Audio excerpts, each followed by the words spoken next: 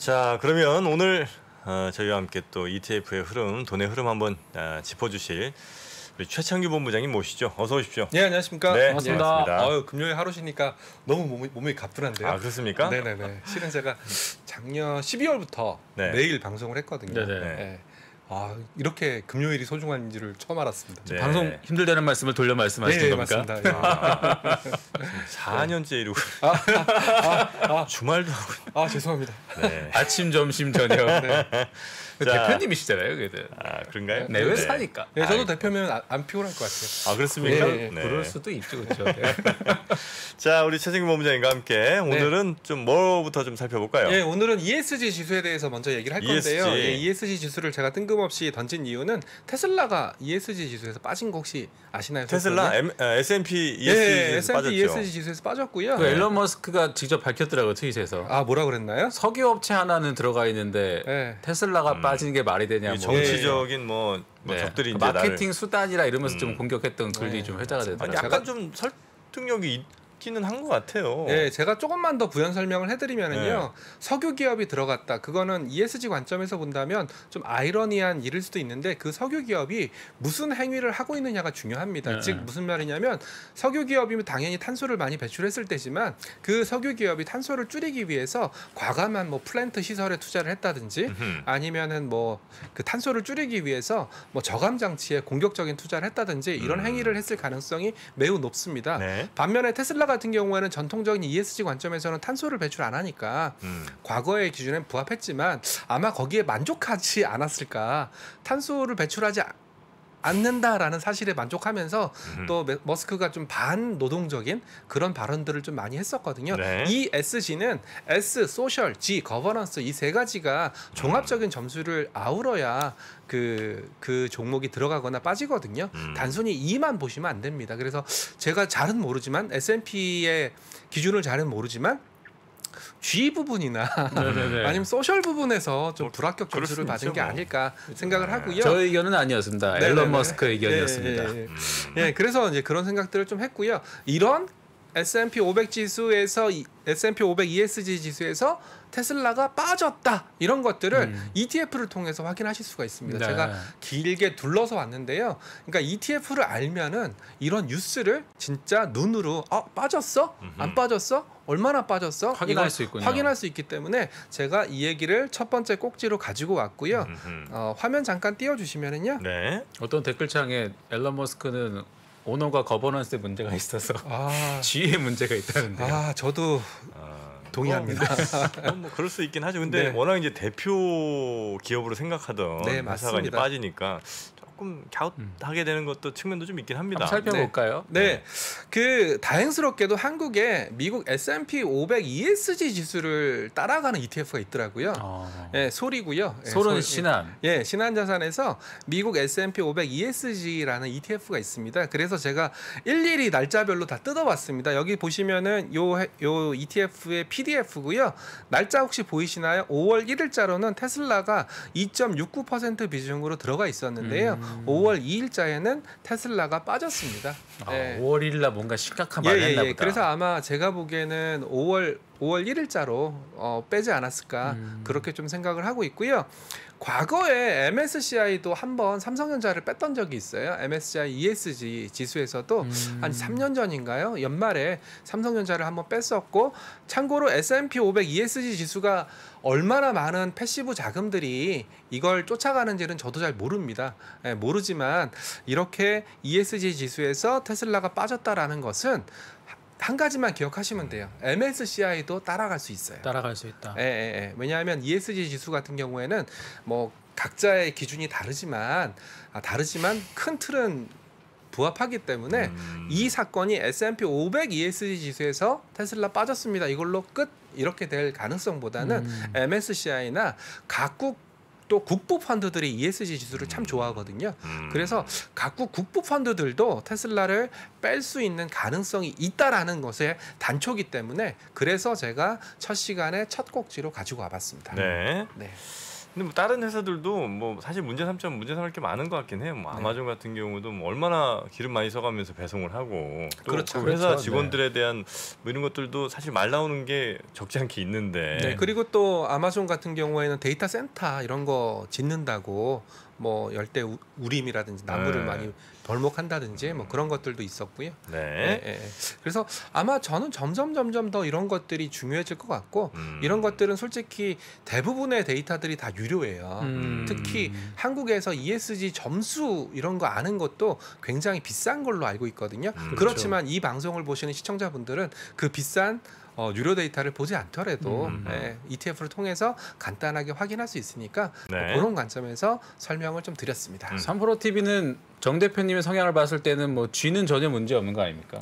아 ESG 관점에서 본다면요. 그렇죠. 네, 네. 저희는 사실 굉장히 ESG죠. 그러니까 네. ESG 그 자체. ESG가 만약에 어, 화신으로 어, 만들어진다면 저희일 겁니다 아마. 음. 예, 정말 글쎄요. 저는 직원들 아직 이름을 잘 모르거든요. 아 네, 그만큼 거버넌스 문제가 없다. 직원들 이름 매니지먼트 문제가 네. 있는 것 같아. 안녕하세요. 누구 예 이렇게 되니까 저희는 뭐 네. ESG 완벽합니다. 알겠습니다. 네, 다음 네. 꼭지 한번 넘어가 보겠습니다. 아 그리고 또 최근에 social 그 사회 공헌도 많이 하지 않았습니까? 아 그렇네 social도 네, 있네 네. 자비로 아, 네, 기프티콘도. 많이 뿌리시고요. 예, 환경 제가 거의 안 씻거든요. 네, 네, 네. 아 네. 그걸 안 씻는 안 씻는 아, 환경. 샴푸가 얼마나 우리 환경 오염시키는지 그러네요. 아시잖아요. 그래서 안 씻는 거구나. 네, 안 씻잖아요. 아, 그래서 머리도 노랗게 염색해서 안 감아도 티 안 나는 머리로. 네, 그러나 려 심- 샴푸는 씁니다. 쓸 때는 려 샴푸예요. 그렇군요. 려 블랙 샴푸 네. 부탁드리겠습니다. 네, 여기서 누가 끊겠습니다. 보고 계시는 거예요, 예, 지금? 예, 여기서 아, 여기서 끊겠습니다. 네. 네, 두 번째 주제는 제가 지난주에 솔프로님 나오셨을 때 음. 리츠 ETF 제가 좀 시간 어, 내서. 많이 ETF. 말씀을 드렸는데요. 드디어 내일 두 종의 리츠 ETF가 상장합니다. 아, 두 개가 올라오나요? 예, 아리랑 FN K 리츠라는 ETF 하나 상장하고요. 음. 히어로즈, 히어로즈는 키움 자산 운용이 active ETF는 히어로즈, 음. passive ETF는 코세프 이렇게 코세프. dual 브랜드로 가져가고 있는데요. 음. 히어로즈, 리츠, 이지스 active 굉장히 재밌는 이름인데요. 히어로즈라는 이름에서 아실 수 있다시피 이거는 active ETF인데 리츠가 붙었으니까 아 리츠를 대상으로 한 active ETF인데 이지스가 붙었어요. 이지스. 네. 이지스는 자산운용사 이름 아닙니까? 네, 이지스는 대표적인 부동산 그렇죠. 자산운용사 부동산에서 1위 제일 운용사고요. 이지스 자산운용이 이 리츠에 대해서 자문을 해요.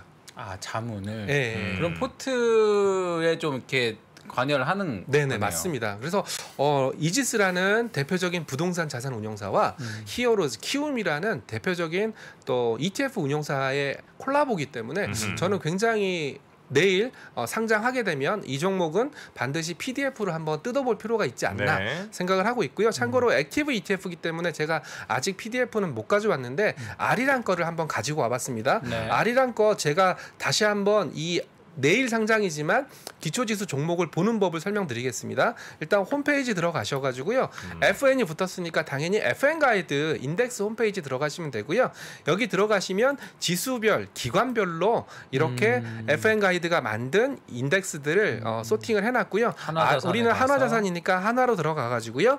여기 보시면은 한화자산이 만들어낸 이미 상장한 지수도 있고요. 상장하지 않은 지수도 있는데 여기 보다 보니까 NFT 테마 지수가 있더라고요. 참고로 아직 상장하진 않았는데 음흠. 요거를 클릭해서 간단하게 보면은 어떤 종목이 들어가 있는지 한번 보면은 NFT 지수인데 카카오, 카카오 게임즈, 하이브, NC소프트, 펄어비스, 아프리카 TV 아 이런 것들을 어그 한화자산 쪽에서는 NFT 관련된 음. 테마 종목으로 봤구나. 이거 그냥 간단하게 시간 나실 때 보시면 되고요. 네. 우리가 오늘 지- 보려고 어, 예, 리츠 지수. 예, 오늘 보려고 하는 것은 FN 가이드 리츠 지수니까 요걸 들어가시면은요.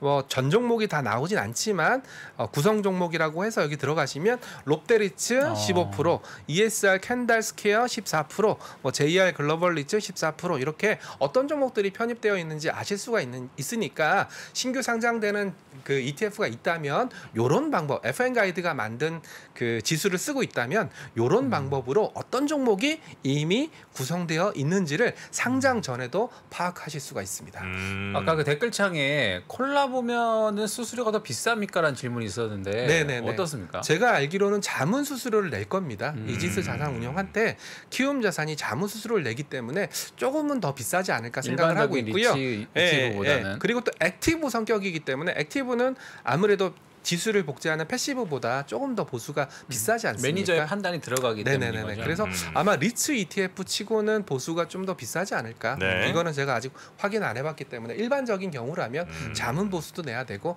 active로 운용을 해야 되기 때문에 보수는 조금 더 비쌀 것 같습니다. 음. 네. 네, 그래서 이렇게 종목을 확인한 후에 그 다음에 하셔야 될 일이 뭐냐면은요 기존에 나와 있는 종목이랑 항상 비교를 해보셔야 됩니다. 그래서 기존에 리츠 ETF 딱 하나 있습니다. 타이거 부동산 인프라 예전엔 고배당이라는 고배당. 예, ETF가 있는데요. 이게 리츠 ETF 중에서는 유일한 ETF였습니다. 음. 화면 잠깐 띄워주시면은요. 제가 이제 방금 봤던 어, 아리랑이 쓰고 있는 FN 리츠 지수 구성 종목을 가지고 왔고요. 네. 여기 밑에 제가 텍스트로 좀 적어놨는데 음. 타이거 리츠 부동산 인프라라는 ETF가 지금 현존하고 있는 K 리츠 한국 리츠를 대상으로 한 ETF 중에서는 유일한데 여기 보시면 인프라가 붙었으니까 타이거 거는 맥쿼리 인프라가 비중이 제일 높습니다. 아. 네, 맥쿼리 인프라가 제일 비중이 높고 그래서 네. 인프라 일부러 넣었나 보네. 네네네. 참고로 그냥 리츠 ETF 그러면 맥쿼리 인프라 안 들어가 있습니다. 그러니까. 네, 그거 좀 참고 하실 필요가 있고요. 네. 부동산이 왜 들어가 있냐? 미래맵스에 부동산 펀드가 있습니다. 음. 상장된 부동산 펀드가 있어서 그래서 부동산이란 말이 붙었다라고 생각을 하시면 될 것 같습니다. 미래는 정말 부동산에 진심인 것 같아요. 네네네네네. 그래서 맥쿼리 인프라가 16.8% 타이거가 들어가 있으니까 어 그 아리랑 거와 비교하면은 맥쿼리 인프라가 빠져 있으니까 음. 어 전반적으로 뭐 ESR, 켄달, 롯데, SK 리츠 이런 것들은 비, 비중은 비슷한데 그 밑에 것들은 이제 그 아리랑 께 비중이 높고요. 타이거 거는 비중이 좀 낮다. 그러니까 리츠에 나는 진심이다. 음. 리츠에 올인하고 싶다. 그러면은 아리랑으로 가는 게 낫고 나는 맥쿼리 인프라가 그래도 최고라고 생각한다. 그러면 아직까지는 타이거로. 타이거로 가시는 게 좋지 않을까 생각을 하고 있고요. 한 가지 변수는 뭐냐면 앞으로 리츠 쪽에 상장할 리츠들이 좀 더 있어요. 더 있구나. 네, 어. 더 있으니까 나는 상장하는 리츠의 어, 알파를 원해. 그러면 히어로즈로 가시는 게 음. 좋습니다. 참고로 히어로즈는 액티브 성격이기 때문에 신규 상장되는 이 리츠 이티- 리츠 종목들도 신규 그러니까 빨리 빨리 빨리 편입을 할 수 있으니까 음. 나는 맥쿼리 인프라가 좋아. 그러면 타이거 나는 리츠에 올인할래. 그러면 아리랑 그리고 신규 상장되는 리츠 종목에 빨리 편입을 하고 싶어. 그러면 히어로즈 이런 식 이런 식의 ETF 투자를 가져가시는 게 좋을 것 같습니다. 네. 자, 그리고 또 네, 그리고 또 한? 가지 네. 가지고 왔는데요. 이제 저희 저도 이제 이- 그 ETF 업계에서 한 1년 정도 일하다 보니까 음. ETF가 가야 할 길이 중국인 것 같더라고요. 음. 아. 왜 그러냐면 제가 아까 NFT를 괜히 보여드린 게 아니라 네. 한국에서는 종목의 다양성이 너무 적어요. 음. 예를 들어 NFT다. 그러면 네이버 카카오 하이브. 음. 그렇죠. 엔터 네이버 카카오 하이브. 음. 또 아, 암- 아마 잘 모르겠지만 블록체인. 음. 그러면 네이버 카카오 하이브 이런 식으로 가지 않을까. 택시도 네이버 카- 예, 그리고 자율주행. 네이버 그래도 카카오. 네이버 카카오 뭐 이런 식으로 가지 않을까.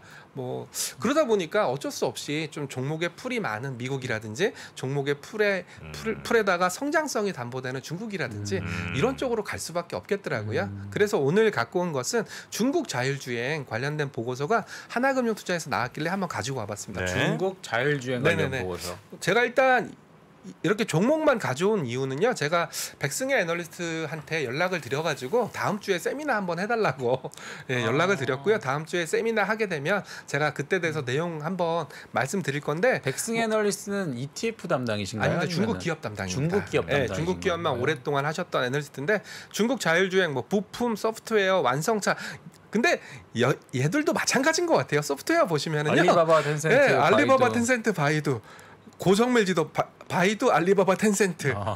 예, 그리고 컴퓨팅 플랫폼 바이두, 그리고 알고리즘 화웨이, 바이두, 알리바바, 텐센트. 네이버, 카카오, 하이브, 라임이랑 예, 비슷하네요. 이쪽도 좀 비슷한 것 같긴 한데 여기 보시면 부품 쪽에 또 재미난 기업이 있을 수 있고요. 또 완성차에도 또 재미난 기업들이 있을 수 있어가지고 제가 다음 주에 한번 세미나 하고 음. 이 자리에서 한번 말씀드리도록 하겠습니다.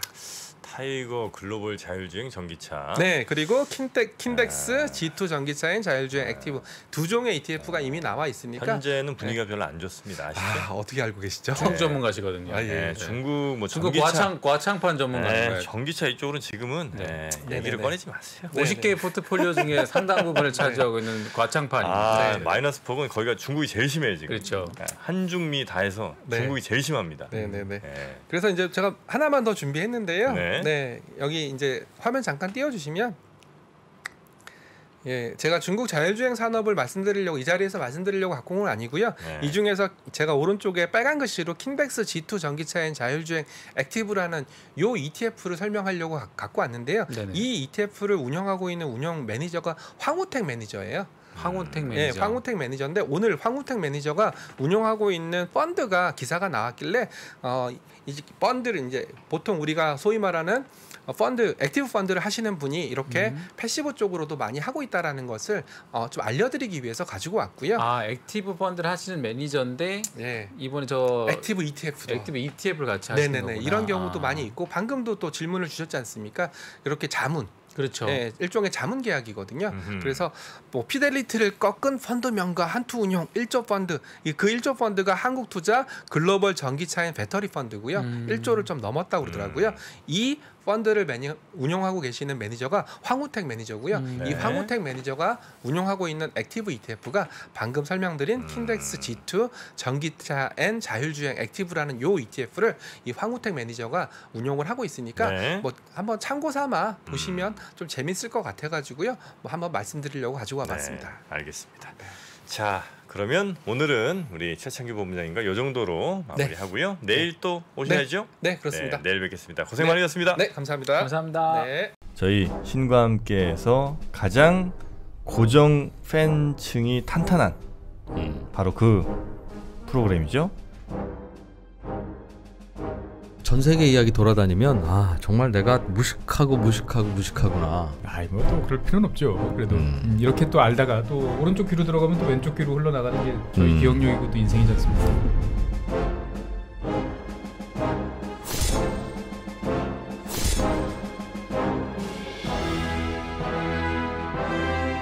저자는 이제 핵심이 뭐냐라고 네. 하면은 인적 자본, 즉 노동자, 사람이 똑똑해야. 사람이 똑똑해야 된다. 자기가 쭉 여러 나라를 연구해 보니까 중진국 덫에 걸리는 나라들하고 그렇지 않은 나라들하고는 그런 면에서 좀 차이가 있더라. 음. 지나고 생각을 해보면 사회적 수준이 높아져야